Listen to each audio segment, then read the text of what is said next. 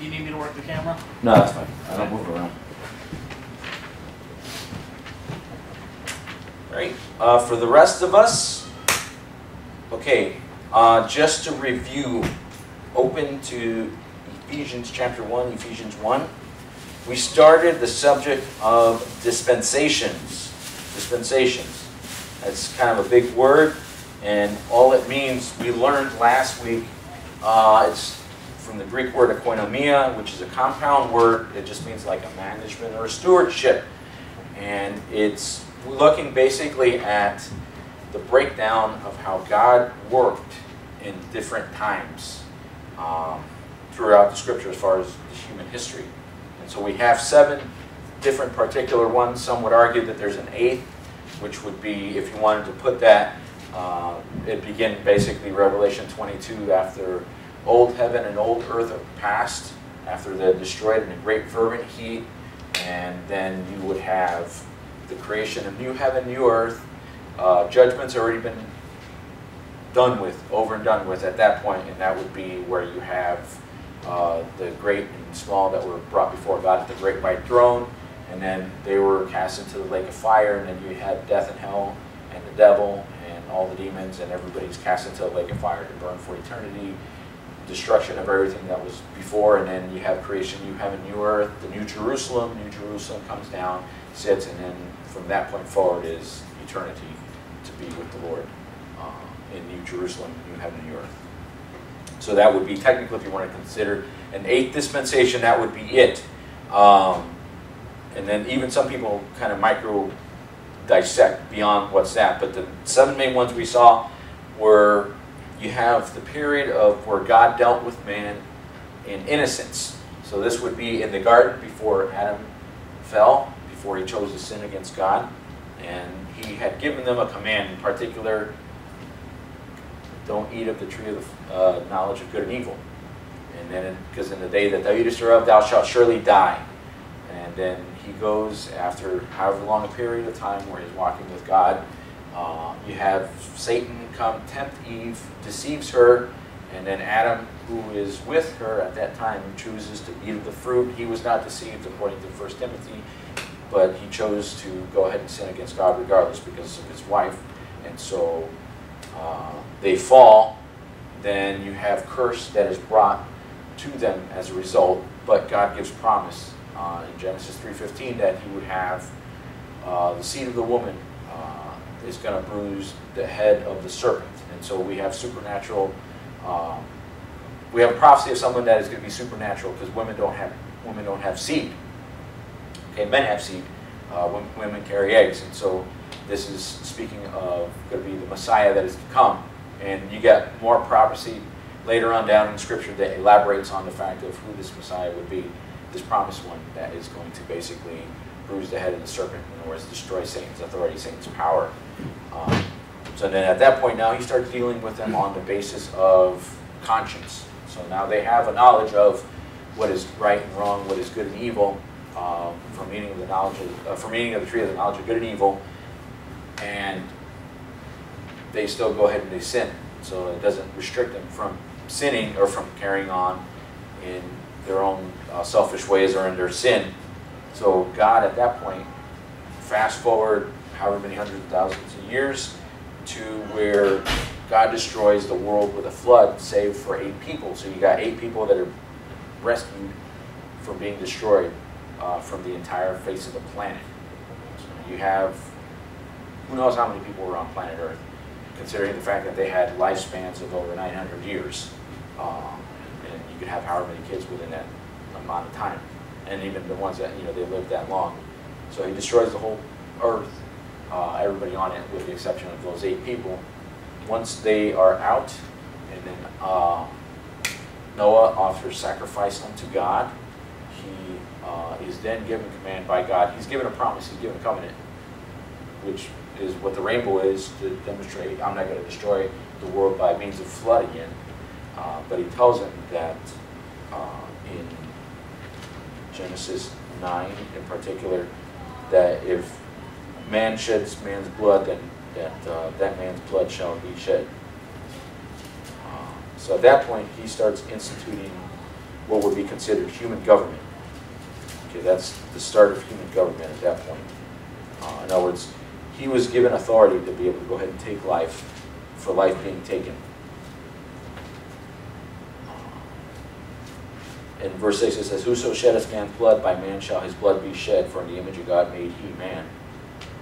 Uh, if you wanted to go further, uh, it says, Every and God, you know, at the beginning verse 1 is, And God blessed Noah and his sons and said unto them, Be fruitful and multiply and replenish the earth. Because there's nobody else around right now. And the fear of you and the dread of you shall be upon every beast of the earth, and upon every fowl of the air, upon all that moveth upon the earth, upon all the fishes of the sea. Into your hand they are delivered. Every moving thing uh, that liveth shall be meat for you, even as a green herb have I given you all things. Okay, so now we'll be able to eat stuff other than just um, just veggies and fruit. Uh, but the flesh with the life thereof, uh, which is the blood thereof, shall ye not eat. And surely your blood, uh, surely your blood of your lives will I require. At the hand of every beast will I require, and at the hand of man. And at the hand of every man's brother will I require the life of man. And whoso sheddeth man's blood by man shall his blood be shed, for the image of God made he man. Now, he wasn't dealing with them on that basis prior to him destroying the earth with the flood. But, so now he instituted a different way in which he's going to be interacting with humankind, and that's by human government. The reason why we say human government is because he didn't really have man having authority over other men in that regard before. Now he gives authority to man to be able to discern, okay, what would be uh, something that would be worthy of taking a man's life, uh, as far as being able to execute judgment, righteous judgment. All right, so now you can kill people uh, righteously. And what I mean by that is not you go on murder, but in other words, somebody murders somebody, uh, which is premeditated. Man is actually now given authority by God to be able to go ahead and execute the murderer. Um, now, we, we know in the law he gives more provision for that with regard to if it's what would be considered manslaughter. If it's something that would be accidental, he goes on to more. And I'll elaborate on that, but God's plan was that we don't kill each other. Okay, God doesn't like violence. He actually destroyed the earth because of that. Uh, he talks about in Genesis 6. He saw that the earth was filled with violence and that the wickedness of man was great upon the earth, and that uh, the thought of man was only evil continually. Uh, and so he sought to destroy everybody because of that. Um, within this time frame of when he's dealing with man and human government, he's he particularly isolates one gentleman out of Ur of the Chaldees, uh, which was Abraham, uh, which is where we're going to be at today. Um, in Ephesians, the reason why I had you guys turn there, in Ephesians 1, um,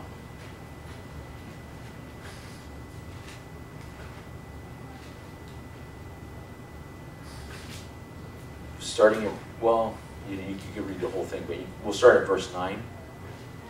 Okay, having made known unto us the mystery of his will according to his good pleasure which he had purposed in himself, that in the dispensation of the fullness of times he might gather together in one all things, both which are in heaven and which are on earth, even in him. Okay, so he speaks of there being a dispensation of the fullness of times. Okay, so there's a stewardship, there's a set aside time that he deals with man that's called the dispensation of the fullness of times, or the stewardship of the fullness of times. So he's giving division here of how he interacts with man. Um, we won't look at this today, but we will. There's there's an argument going on as far as um, Christians or so-called theologians that say dispensations are only really recent, uh, since basically the 1800s by a gentleman by the name of J and Darby uh, would have been the first, uh, I guess you could say, evangelical writer or Christian quote, quote unquote theologian that would have brought about the concept of dispensations. And that prior to him bringing it into, uh, I guess, existence or whatnot, that it wouldn't have been known. Um, but you can see that Apostle Paul writes here that there's a dispensation of the fullness of times. It's not the only place in which he writes of there being a dispensation, uh, but as far as with regard to the concept of God having different sets and ages as far as how he dealt with man differently. Um, not that salvation was different in the different times. It simply was always by faith uh, in Christ. At that time prior to him coming, it was always looking forward to Christ. Now us in this time and age is us looking backwards to what Christ has already done. Um, but So it was still. Uh, no, it's just he brought it back around, I guess, to awareness. Um, the argument that people make against him or against the fact that dispensation is being taught to begin with is because of basically um, Calvinism or covenant theology. And we'll get into that at the end, not of this lesson, but at the end, towards the end of the series, as far as the errors. The reason why that's the case, just as a preview, is because covenant theology seeks, it's also kind of known as replacement theology. What they look at is they look at the covenants that God had with man, and they use the argument primarily from Galatians, uh, but in other places, but primarily from Galatians as far as the church. And also, I think you can, uh, from in Revelation, where it talks about uh, that there's the synagogue of the Jews, which say they are, but they're not. Uh, so they're the synagogue of Satan, in other words. And then they look to see that since we are adopted, we're grafted in, that and God had set aside Israel, that the church basically replaces Israel, and that the promises and the covenants that God had made towards Israel really are not going to be towards us, and that are fulfilled in us. So they just basically discount anything that has to do with Israel as a people and as a nation, uh, which some of the covenant, some of the promises are yet to be fulfilled, and we look forward to that, and that's going to be in the millennium. Uh, nevertheless, uh, they discount that, they do away with that, and so they attack dispensational theology, uh, and they kind of modify it some. Anyways, the, the, we'll, we'll get into that at a later lesson, that's a whole nother lesson. Um, so we looked at he addresses the fact that there's this dispensation of the fullness of time. So we see that, okay, there's dispensations as far as not just mention the word itself, but the concept as far as God dealing with man different ways. Uh, again, you ask, okay, what's the point of this? Uh, if you just took the Bible and read it, you could actually just see this or figure this out. You might not know the term, or but the concept, the root concept as far as that God deals with man uh, in certain ways. And he dealt with man uh, in different ways, though not necessarily for salvation. And what I mean by that is uh, he dealt with man on the, on the basis of his innocence uh, in the garden. Once man fell, he dealt with them on the basis of his conscience. Um, after the world was destroyed except for eight people, you have God instituting human government, and he's dealing with, the, with mankind on the basis of human government. Uh, he is going to, in that period of time with human government, uh, going to deal with him in particular, uh, as far as he's, we're going to look at today, is he calls Abraham. Go to Genesis chapter 12. Genesis chapter 12.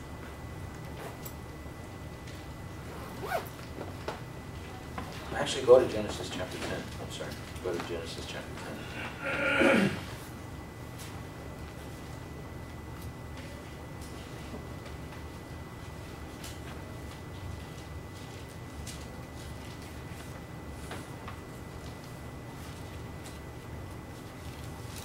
Or, I'm sorry, 11. 11 is what I meant, not 10, 11. 11. Just a page over. sorry. Okay. Okay, and the whole earth was of one language and of one speech. Uh, if we were to go back to Genesis chapter 9, okay, it, verses 28 and 29, the end of the chapter, it says, And Noah lived after the flood 350 years, and all the days of Noah were 950 years, and he died. And then you're going to have chapter 10, which is a really long genealogy. Uh, and it ends chapter 10, verse 32, that these are the families of the sons of Noah after their generations um, in the nations, in their nations, and by these nations uh, divided in the earth after the flood.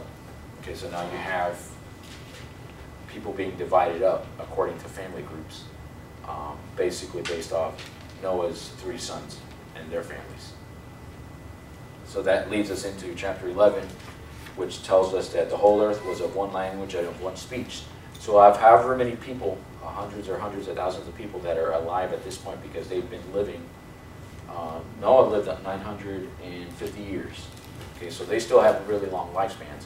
Even though the earth was altered um, and the atmosphere was changed and altered because of the flood, uh, they still had pretty long life at this point. So you have multiple people that are being born to this three children, and then they have multiple people that are being born. And so now you have, they're, they're fulfilling God's command to them as far as be fruitful, multiply, and replenish the earth. So now where God wanted them to be able to go ahead and have lots and lots and lots of kids and to populate the planet. Um, but this is interesting. It says of the whole earth, they were of one language and of one speech. So, okay, there wasn't any division in how they communicated. That would have been the same thing prior to the flood, because there's no indication that they would have had any kind of differences in languages or cultures or anything like that, really, from before they were all destroyed in the flood, before the whole planet was destroyed. So you figure, okay, you have however many people, say maybe, let's say we had even 7.2 billion people back then. 7.2 billion that all spoke the same language, basically had roughly the same culture, because they would have they would have come from the same people, from Adam and Eve, right? As did Noah and his wife and his three sons. But they're all communicating the same language, same culture. Here's what it says in verse 2. It came to pass as they journeyed from the east that they found a plain in the land of Shinar, and they dwelt there, speaking of the folks that on planet Earth. And they said to one another, Go to, let us make brick and burn them thoroughly. And they had brick for stone and slime had they for mortar. And they said, Let us go. Uh, they said, Go to, let us build a city. Let us build us a city and a tower whose top may reach unto heaven. And let us make a name, uh, lest we be scattered upon the face of the whole earth. That's interesting, okay? God's command to them was to be fruitful, multiply, and replenish the earth. God's actual design and desire for them was that they would spread out. Now, they didn't want to spread out. They wanted to go ahead and remain in one area, uh, and they didn't want to be scattered. Okay, they didn't want to go ahead and go out and be scattered. So they wanted to stay in one area, and they wanted to make a name for themselves. Okay, so they wanted to promote themselves. Now, here's what some people argue as far as like, okay, you have the city and the tower which may reach unto heaven. Question. What is that? What is the tower? Yeah, Well, there's, in a city that reaches unto heaven. there's other, there's, there's archaeological finds of what's sort of ancient, sort of ziggurats, the kind of pyramid, type thing. Sort of has to do with their religion. I don't know if they've actually found this particular one, but What is the question? Okay, I'm sorry. what is the tower? Yeah, what is what is the tower? What's he talking about when he says, okay, there, let us build us a tower? Oh, a Yeah. tower. Oh. Yeah, a tower in a city. It's man reaching to God through the, through, it's, it's trying, man trying to get to heaven or reach out to God somehow through other than Christ. Are they trying to are they trying to build a skyscraper that goes into like space? Not really. I don't know. Okay. I don't know. No, I'm just saying because some people some people think that, and that if you were to just read it just uh, whatever, it's like okay, oh that's cool. They're trying to build a skyscraper that goes into space, the tallest skyscraper, you know.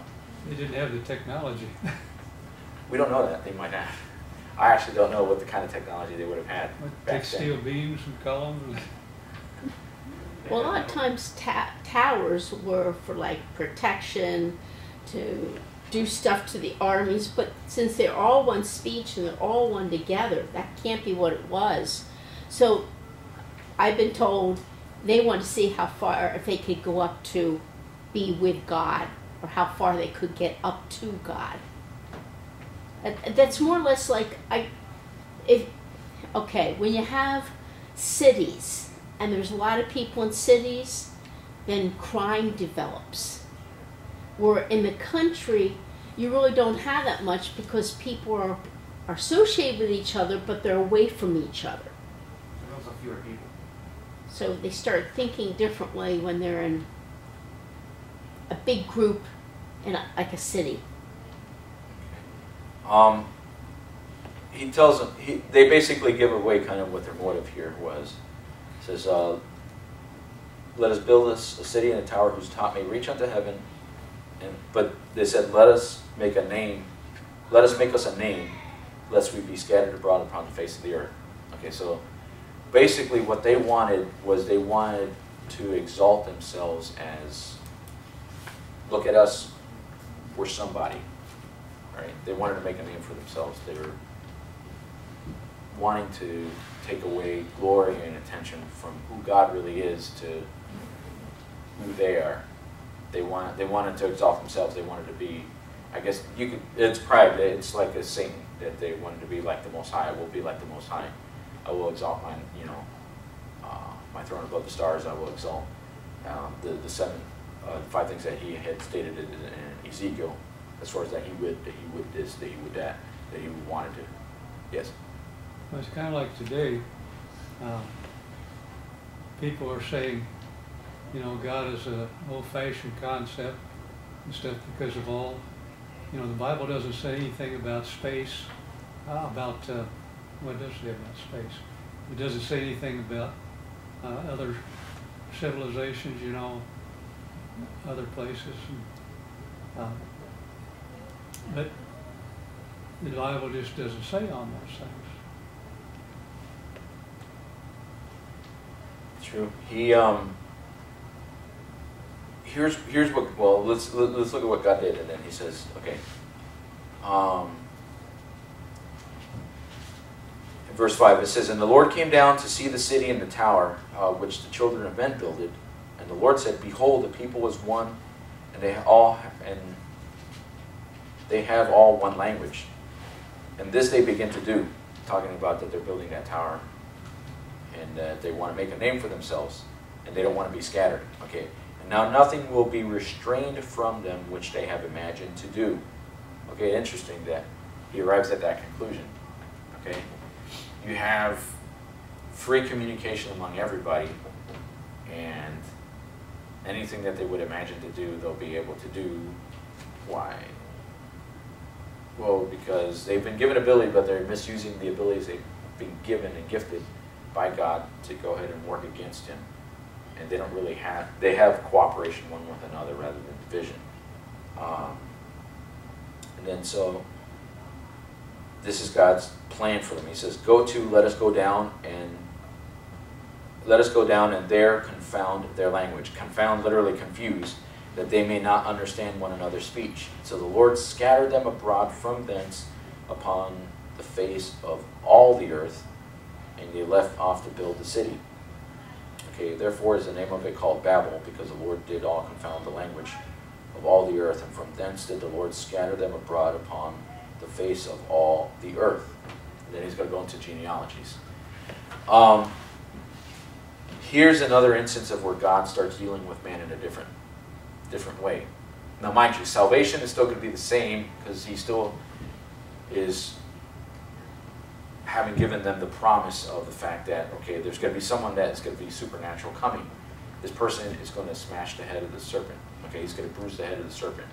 Now, the bruise, the serpent's going to bruise the heel of this individual, but the serpent's head is going to be um, basically destroyed, uh, bruised, and then it's not only going to be um, someone that does that, but it's going to be of a seed of a woman. So he's going to he's going to be of supernatural origin. Okay, so he's going to be from a woman. He's going to have human, um, but the thing is, he's going to be from rather than.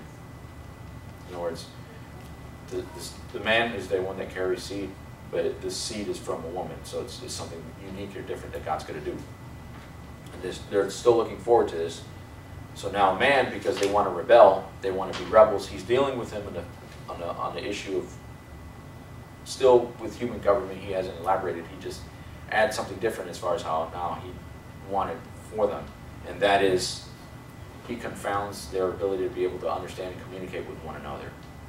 Because God desired that we don't, all right, this is gonna sound really bad, all right? This is gonna sound, it's gonna sound really bad, all right? We plan on And, um, No, no, no, I'm, I'm, I'm, uh, okay, I don't, I don't mean this to sound racist or anything like that, but the differences that we have, okay, that's by design, by God's plan, okay?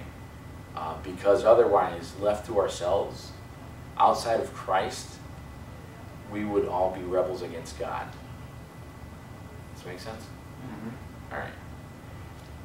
The world, right now, this is a big thing in media and is promoted. And I mean, if you have any kind of common sense, you would see. But like, it's the media trying to Stir the pot. stir the pot. But the thing is, it's still something that would, it's been commonplace all along.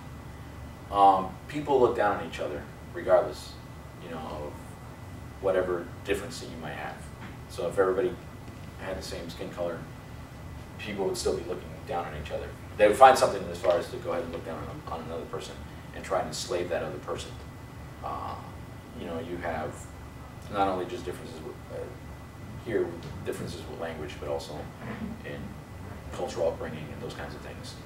Um, but the thing is, if you're, as a, as a Christian, in Christ-like mentality, it's like, okay, we're, we're one, we're, we're family, we're brethren, and it's because of the blood of Christ. Okay, what the world does is they try to imitate that, uh, but they don't have Jesus, and so they don't have a motivating factor of love, but rather it's of it's of control. And what they would want to do is they would want to take everybody to be able to manipulate them, to control them, to be able to get what they can from them.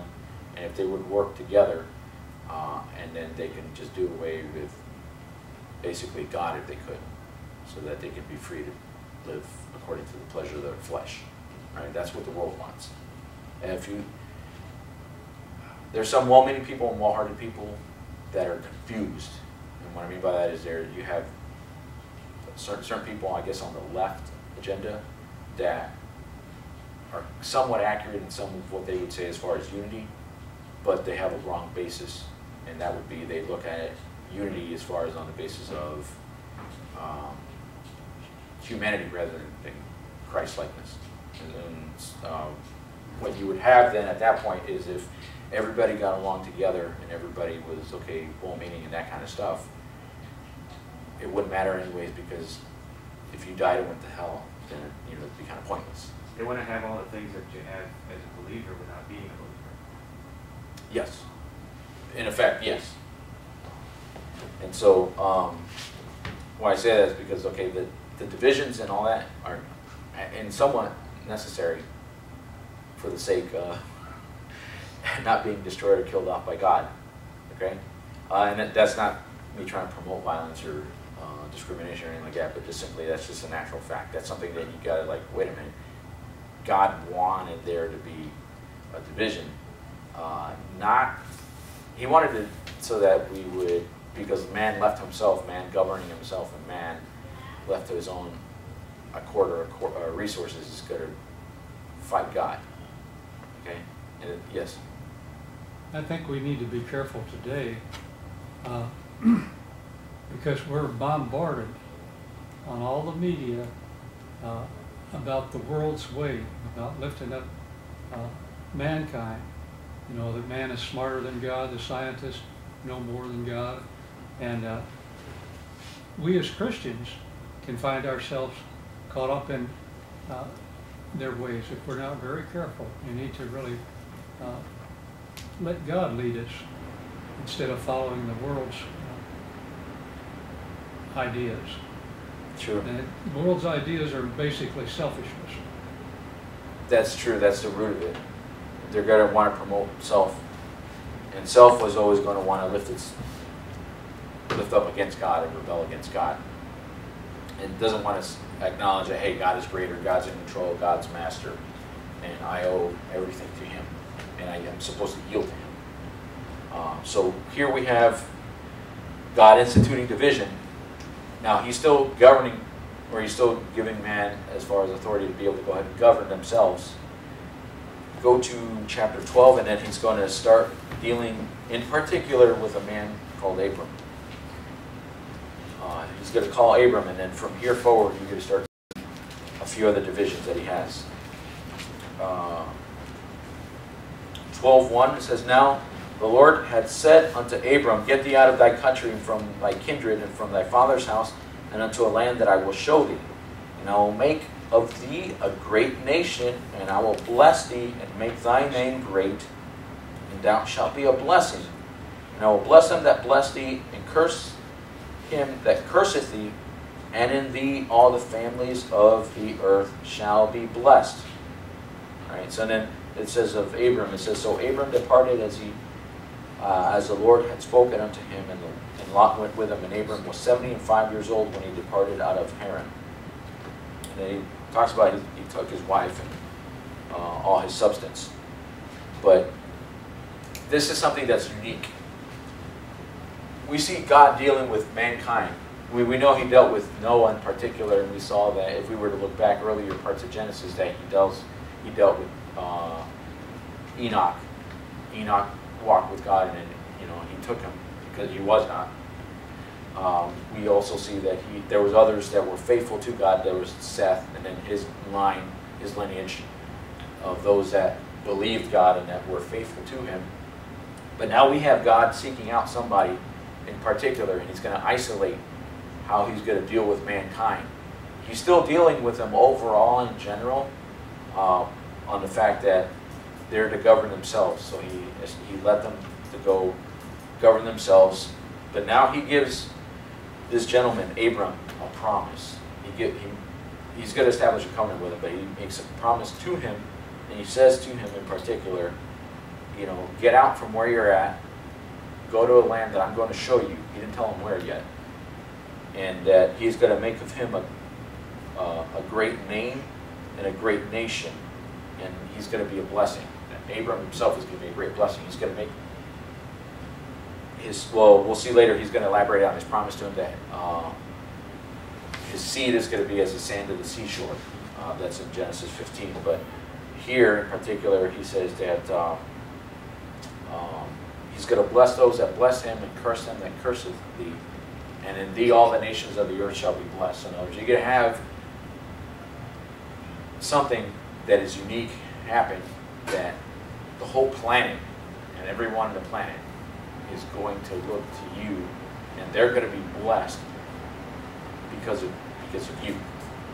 And we know later on that that is going to be the fact that Messiah is going to come through his lineage and that he's going to set it. He, he picked him out specifically uh, to bring Messiah through his through his line, through his lineage, through his offspring. But now he sets aside, and then this is what we would consider promise, but still this lies within uh, the realm of human government. And so now he's dealing with mankind, but he's dealing with mankind.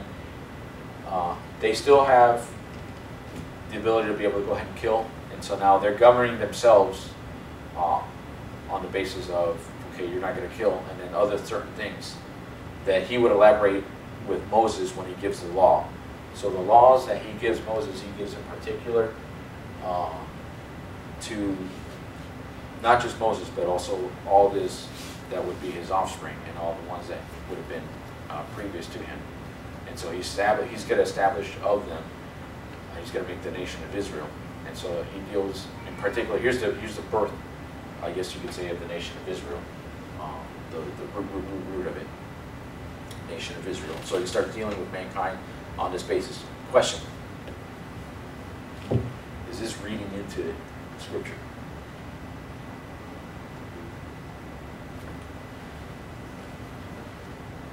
Uh, all right, here's what I mean by that. Okay. These are plain, kind of easy to see things as far as that God is doing, right? You're just reading along, boom, you see, okay, wait a minute, God's dealing with mankind on a different basis now.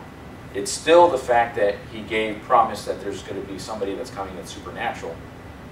And now he elaborates on the fact that this person that's supernatural, um, he says it's going to be through Abram. He's, he sets aside Abram, and in particular he says, look, you're going to be a blessing to all families on the earth. You know, I'm going to make of you a great nation. So he starts isolating as far as who he's going to deal with now. even though he still has a heart for everybody. And he, he explains that later on in Scripture. But is that not like pretty plain to see? All right.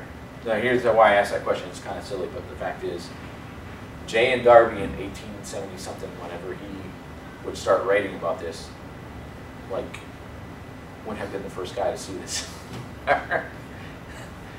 in other words, it didn't start with him. This is just somebody that was reading scripture and decided, okay, hey, to write, and didn't want to just go ahead and twist scripture like uh, Augustine uh, Origen and all these other guys that want to go ahead and, and, and take scripture as yes.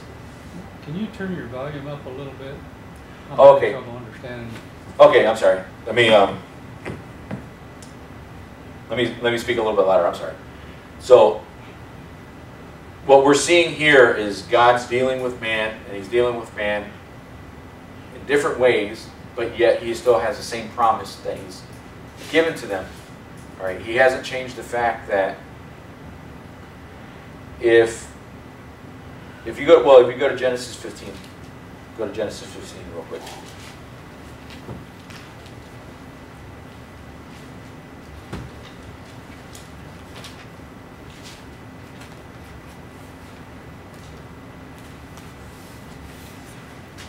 Uh, it says, okay, after these things, the word of the Lord came unto Abram in a vision, saying, Fear not, Abram, I am thy shield and thy exceeding great reward.